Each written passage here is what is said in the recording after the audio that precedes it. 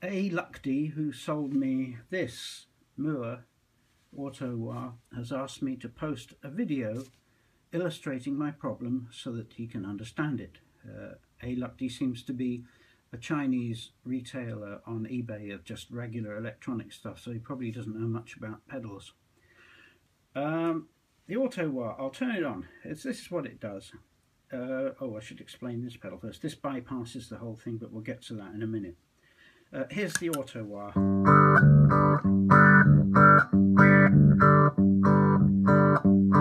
The usual predictable cheesy thing.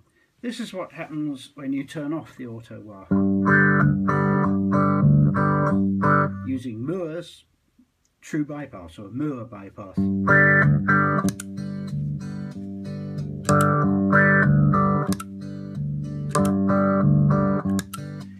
Fair enough, you might say that's uh, it's amplifying a peak and wiring it around so to sound a bit louder. Now I will bypass the pedal and you'll see just how much is lost in their true bypass. Here's my bypass. I'm going to bypass the pedal now. Right, so the signal is now going straight to the amp via this looper pedal. It's not going through the Mooer at all. When the light goes on, it's going through the Mooer true bypass.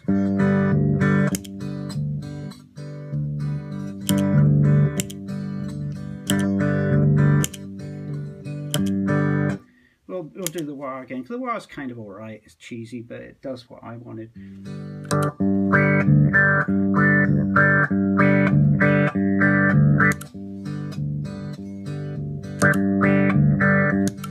See that in use there's a significant volume drop which is actually it makes it unusable in any working situation. I'll show you again the difference between a real bypass and a Mooer bypass.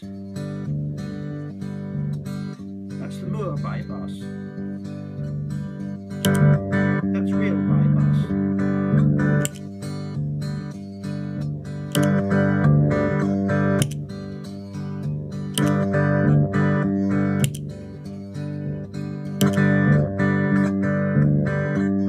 Straight through, reminder. Through the Mooer. Through the Mooer bypass.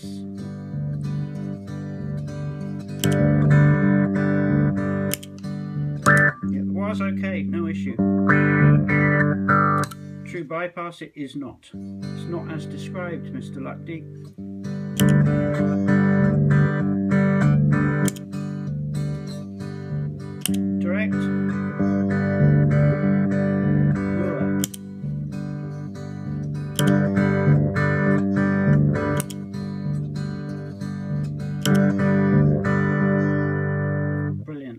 True bypass, my ass.